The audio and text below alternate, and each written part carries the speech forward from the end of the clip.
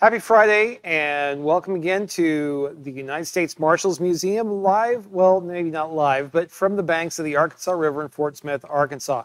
I just wanted to let you know today is going to be kind of a little bit different just because there's a little weather event that's been going on here in the Fort Smith area on Thursday and Friday, the week that this is supposed to be airing live.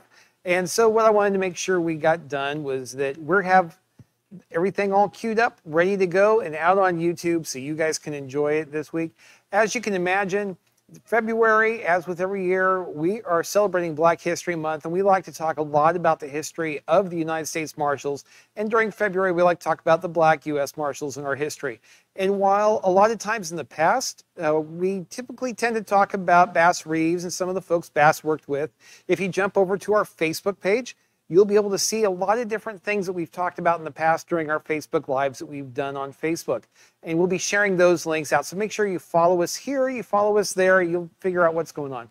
So today, though, for a special, we're going to air excerpts from an interview I did a few years back with Bobby Banks. Bobby Banks is one of my favorite people. He's an amazing guy. He was a career deputy United States Marshal, started out uh, as a kid, he went into the United States Marine Corps, served in Vietnam as a combat veteran there, comes back, serves as a member of the Washington, D.C. police force. After a few years of that, decides he's going to become a deputy U.S. Marshal. And during his time as a deputy U.S. Marshal, it was in from 71 to 99, and he did about every job that you can think of in the United States Marshal Service. U.S. District Court, U.S. Superior Court in D.C., uh, he worked at headquarters, uh, was part of special operations group, worked in internal affairs, worked in witness security, uh, threat analysis, and he also, when he retired, he was in the Office of International Affairs within Enforcement Division. So really, just like a ton of different things. He, early in his career, he was escorting the mysterious cassette, the, the tape from, I guess it wasn't a cassette, the reel-to-reel tape from Watergate uh, with the missing, uh, what was it, 15, 17 minutes, something like that. Uh, but really, one of the key parts of his story that really kind of stands out for me is his story escorting James Earl Ray. He'll be talking about that, his association with the history of Martin Luther King, with his history within the Marshal Service, being a black man at a very difficult time in the Marshal Service, and being one of a very small number of trendsetters, and really just some amazing stories. So I hope you enjoy hearing from Bobby as much as I did when I got to sit down and listen to him about five years ago. So, with that, please sit back, listen. If you've got a question about this, if this is during during the regular live time, I'm going to be sitting and watching this at home, hopefully with a power, and so I'll be able to comment back and forth. Otherwise, if you're watching this down through the years, go ahead and ask your questions, and somebody from the Marshals Museum will get back to you. Thanks a lot. Make sure you stop by the webpage. Make sure you stop by our Facebook page, and uh, we'll talk to you more about the Marshal Service. Thanks a lot, and I hope you have a great time.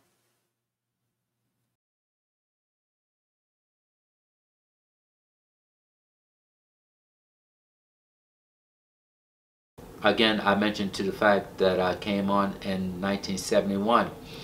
Uh, prior to 1971, I served as a police officer in Washington, D.C.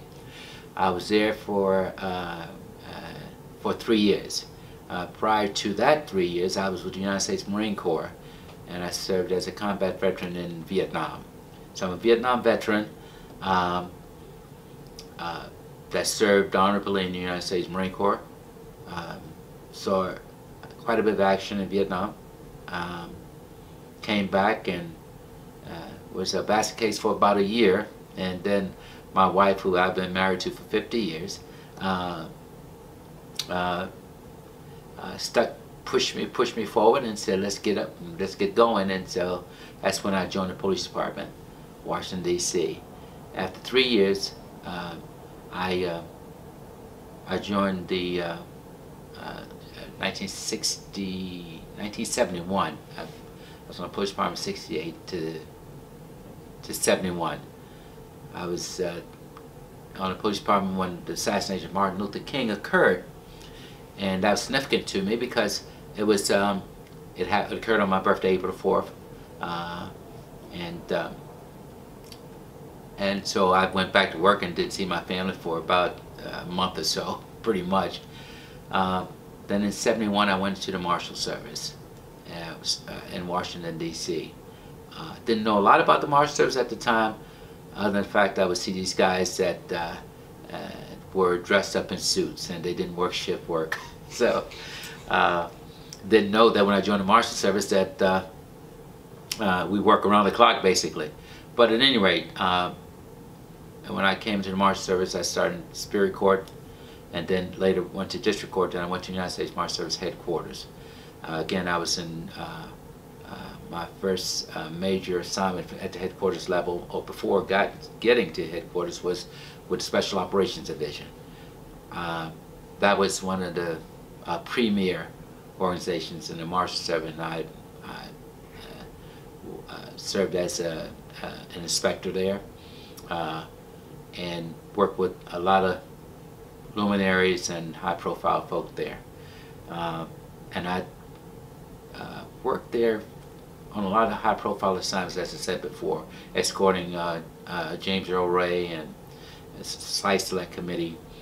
And then after that, I went into internal affairs. Uh, I lost a lot of buddies there because I was not welcome in a, in a, lot of respects once you join that organization. I was drafted into that, if you will. Uh, I say drafted by one of the assistant directors who thought that uh, I would be an asset to him. Difficult assignment. I served there as an investigator and then later uh, left and then came back as a, as a supervisor. Uh, so I worked in internal affairs and then from there the threat analysis division. That was uh, a separate entity in the Marshal Service uh, that supported the court security division. Uh, uh, again, I before they had the Witness Security Di Division, I did a lot of WITSEC work, um, uh, core security work. Uh, we were generalists, so to speak, early in the day. Uh, uh, I guess the one of the things I'm most proud of is my association with the National Center of Missing and Exploited Children. when I was in the Enforcement Division, Officer in International Affairs, before I got there, um, I was introduced to Office of International Affairs along with uh, uh, Jay Fry, who is a uh, fellow deputy and dear friend. And I've always had a strong um, feeling for children. Even as a police officer, I always felt that they need to be protected. They're, they're unprotected and they should, uh, we, I understood there were a lot of predators out there from my, my experience as a police officer, but I always uh, uh, had a, a very soft spot in my heart for, for, for children. Uh, and when I was exposed to them at an early age, uh, that is the National Center for Exploited Children, uh, I knew a couple of police officers and found out the work that they were doing there. I, I began to learn more and more about it. And so my association with them was, uh, was uh, uh, tenuous, but I was I saw a lot of ways that I thought the Marshal Service could help in that area and and I and I brought that forward to a lot of folk. Uh, and and uh, so Jay and I both did that, and so I was proud of the fact that um, uh, later on I was uh, uh, asked to join as a, uh, the, the the National Mission Supporters Children, and they had the pro what they had a program called Project Alert, which was a America's Law Enforcement Retirement Team, and so we had a vetting committee, we a group of veterans that looked at the homicide, retired homicide detectives, and to look at old cold case files. And so I was part of that. Um, I recently retired from, um, uh, in my retirement, recently retired from the National Center uh, because I felt that I wasn't able to give all that I could, and uh, quite frankly, uh, technology had passed me by, and a lot of times it had to do with the computers and making presentations and so on and the like. As I mentioned before, uh, Martin Luther King was uh, assassinated on April 4th, 1968. The irony of all this is that I was born on April 4th, 1940. Uh, I won't go 43. I, uh, um, so then, uh, during during the riots after that, you know, there was uh, there was a lot of upheaval in the District of Columbia, burning and the like. and I was a young police officer at the time. And um, so later on in life, then I never would have dreamed that uh, I was a police officer back then in 68, that I get into the Marshal Service and then they had this uh, assignment for this for the man who killed a, a, a uh, idol of mine, Martin Luther King Jr., uh, who uh, when he made this famous uh, I Have a Dream speech, I was there as a young African American black who experienced a lot of unevenness in this country. Uh, and so to have the man who actually killed him and for me to, to be asked to be on the team to protect him uh, was a challenge. It was a challenge from the standpoint of how would I interact with this guy. You see, it was four of us uh, that had his personal security. It was the SOG commander, um, myself, Floyd Johnson, and forgive me, I should not forget who the fourth. And we would, uh, when he would come in, when they bring him in to, uh, on the helicopter, we would pick him up, surround him, and make sure nothing uh, occurred to him. And I was willing to die if anybody who came against him. In other words, my duty was to protect uh, and, and make sure that he was safe and secure. And so uh, the the uh, the week or so, I believe it was, when he testified, I was there. I was guy, of course, I was much thinner in, in much better shape, had a big bush and the like. I saw a man who uh, uh, was very, very stoic. Uh, he, uh, I thought he was very, very tough. I, you know, if you if you had to deal with this guy, and I was a Marine, uh, you know, he was he was committed to what he was what he thought and what he felt, and of course I was committed as well. So, uh, but I didn't like him. But notwithstanding that, my job was to protect. It, it, the irony of it was that uh, every day while he was while we were in D.C., uh, his uh, his attorney, Kunstler, uh, you know, we had to provide lunch for him, and he made it a point to point to me and said, "I want that uh, deputy marshal there to make sure that he goes out and get the get his lunch for him." and so, I, I and so why me? I mean, if anybody, and I did, and I made sure that nothing, you know, his food was was pristine, that it was the best in the whole nine yards. But uh, I thought I was challenged in a lot of ways about how I was I would uh, interact with him, and so it's it's something that uh, that stayed with me for a long time, and it still uh, stays with me. That I would defend uh, a person who I detested. Uh, who killed an idol uh, my mind. I say who did because uh, there's some question about whether or not he in fact was the, was the, uh, the assassin. I think when I listened to the evidence, it was clear to me. So, but at any rate, yeah, it was difficult for me from African American standpoint to to be on that assignment. But I was honored to have been uh, chosen for that position by the Marshal Service. Yes. during that era, of course, we did a lot. Of, uh, like I said, I was in a threat assessment. But uh, when we had uh, Gordon Kahl uh, incident, and and you know, we lost some deputy marshals during those assignments, and that was.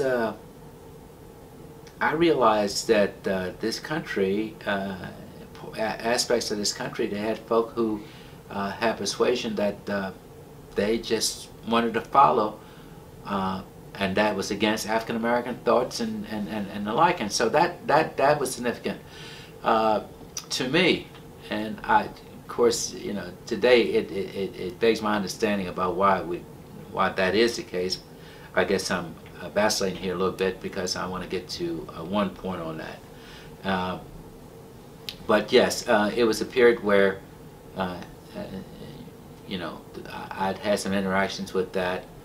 Um, and I was in the special operation at the uh, special operation group at the time, and a lot of times we were engaged in in a lot of assignments dealing with the white supremacists and and and uh, and the different uh, assignments that we had when we interacted with them.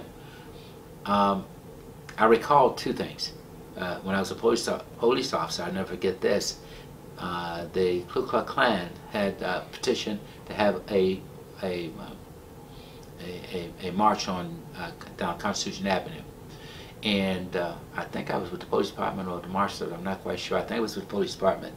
And my, again, that assignment was for me to be, uh, to walk side to protect that right for them to march and demonstrate and that is important in this country to understand that everybody has the right to protest according to the law. And so I've always felt very, very strongly about that. In accordance with the law, you know, we have a right to protect and defend the Constitution of the United States. And so I've always been about duty first. And I think that's important. And, and, and what the law says and what my responsibilities are as a man, number one. Uh, so, uh, what my personal views are about certain organizations will always stand. But, but what my job and, and responsibilities are is, as another aspect that I would follow through and whatever it takes, I would, I would uh, make sure that I'll do my, my most to make sure that the rights uh, of others are protected. Later on, I had a dear friend uh, I won't call his name. Uh, he was a deputy marshal retired, and he um, uh, for so many years. And so he, when uh, one day he called me and said, "Bob Banks, I want to, I want to show you something." And uh, I said, "Okay." And so I went to his residence, and he had a a plastic bag and in the plastic bag, uh, he had a full, uh, authentic uh, Grand Wizard uh, suit uh, from the Ku Klux Klan member, a Ku Klux Klan member. And I looked at him, and we are very close. He's Canadian born. He served in the Marine Corps, so I loved him dearly. He's a my brother, uh, and so, but I was I was taken back and I was angered by that, and I said, why would you show me this? And and you want me, and he was going to present it to me, and why would you think I would want that? And he said, he went on to say, he said, well, why not? Why not you? And I and I failed to to to grasp that, and. Uh, uh, I thanked him, but I was angry with him. And I said, and I, and I left. Uh, he said, well, when you leave, I want you to think about it. I want you to think about it. I'm going to hold this here, and I want you to think about it. And, uh, of course, he showed me that, that initial meeting. Showed me the, uh, the gentleman who wore this, uh, uh the, wore this Klan outfit. It must have been about a month. And he called me up. He said, you still angry with me? I said, no, but I'm I'm not, you know, I'm, I'm just uneven about all of this. And he said, I still want you to have this. And I still question him why. And he went on to say, he said, well, do you know who uh, are the biggest um, collectors of Nazi uh, German uh, uh, artifacts are? I said, I have not a clue. He says, the Jews. I said, you kidding me? He said, no. He said, they have more artifacts from their persecutors than, than anybody. And he said, so why not? So it's under that, it was because of that, I decided to receive that package. He said, I will do one thing. I'm going to take the information inside who it belongs to away from you. I said, that's fair enough. And, I, and he did. I regret that he did that now. I wish I had it because I would make that presentation. But he did that, and today that item still is in my possession. And so uh, as time has gone on, I think it's no more fitting. And I thought about it when they opened up the uh, uh, African American Museum, whether or not that would be something that I would donate to them. But then I recalled that I mentioned to it to um, uh, the uh, former curator, curators of the museum uh, because the Marshals has played a, a significant role as far as uh, on both sides, really. As a matter of fact, they the Marshal Service uh, uh, they used deputy marshals uh, uh, during during the time was was when African Americans escaped, blacks escaped from res, um, from from the slave masters. the marshals were sent out to to track them down. The Marshal Service also um, protected, and so I'm trying to figure out who best to would best serve. But at any rate, I am prepared to uh, relinquish that item. Uh, so, yeah. Well, uh, like I said, I had not a full grasp of what the Marshal Service did at the time when I came on. Uh, there was a transition, there was no doubt about that. Uh, matter of fact, there were not many black mar deputy marshals in that area. Uh, it was during, uh, I believe it was during uh, Kennedy's time that uh, there was an, uh, a call, if you will, for uh, the, to have more representation from the African American community. And so it was during that time that that I, I heard about the Marshal Service and um, and and elected to to look into it and then decided to join. I can tell you that it wasn't easy. In other words, uh, a lot of times uh, uh, we were not well received. Uh, and, and by that I mean, and uh, you know, there were certain things we could do in the courthouse that we could, that, and we couldn't do. You know, we, we, we were there, but we couldn't be seen, if you will.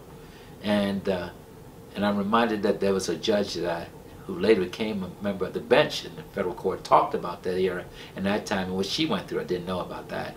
But yeah, there was a time where there was difficulties, and there was, uh, and those difficulties were brought out by, uh, by complaints and and and and, uh, and the like.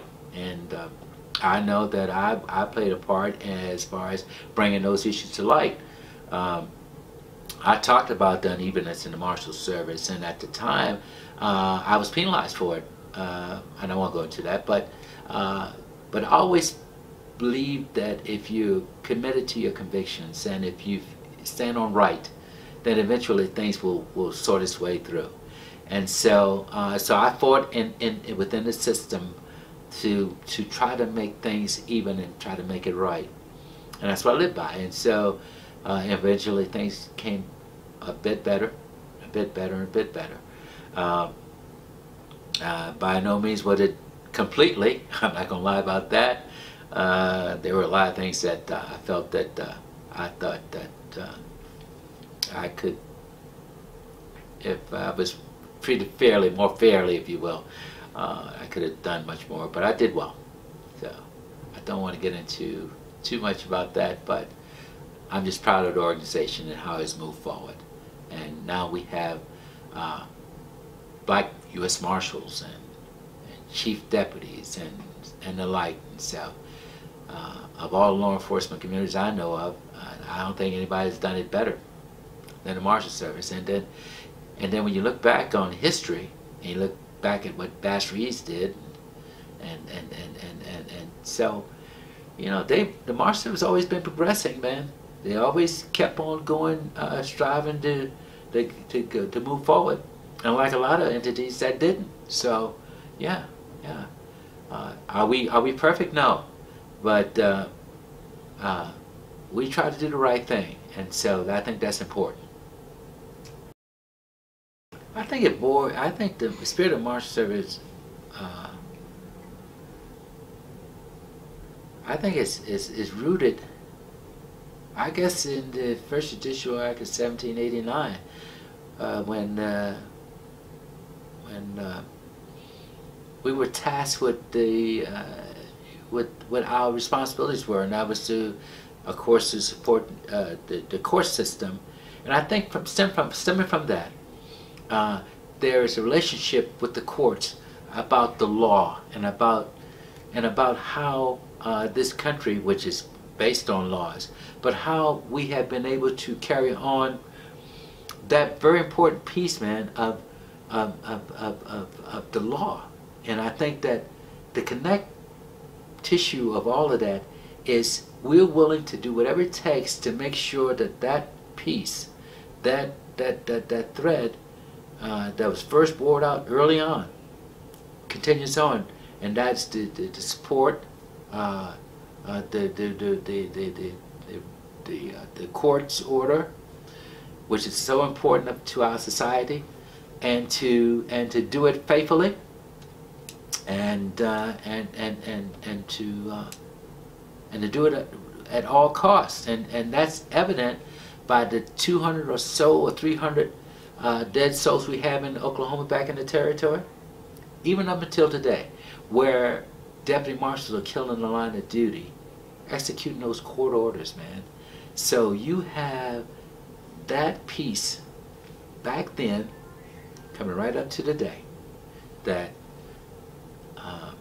we're willing to die to make sure that the justice that we follow, that the laws are executed in a fair and impartial manner.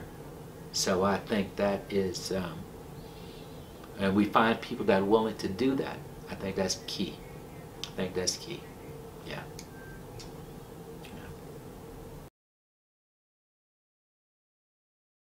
You know, when I I, I did, did, did, I was surprised, and I had to I got to say this. I was I was I was very surprised to see uh, African American uh, uh, U.S. Marshal here in the state. To be honest with you, and so I, I when I talked to Louis McKinney, I said, uh, "So where's the Marshal?" And he looked and he pointed me over there, and I said, "He's the Marshal." And a big smile came on my face again, you know, because I'm going back in time in history, you see. Well, that wasn't the case at all. And it's so proud for me to look over and see someone like, uh, with my skin color that's accepted and who works and see there again, you know, if we can just put aside our dumb differences and, and accept for who and what we are and the fiber of the inside of a person because I see the connection between he and the chief of police and the sheriff, and they have a commonality with, and they work together. So, but I got to say, I, I, I, was very happy, and I, I made it my point to introduce myself to the marshal. I told him how glad it was to see him, and how glad it was to meet him, and he was. Uh, he was uh, looking forward to when he becomes a, uh, I think he's a, a, member of the association, and how he said that uh, unlike any other law enforcement component, this Marshal Service Association is unlike any others, and that is uh, we seem to love one another, whatever our differences are. And Lord knows we have our differences, so, but there's a love for one another, and so, yeah, that's, that's key. That's important. Right. Yeah.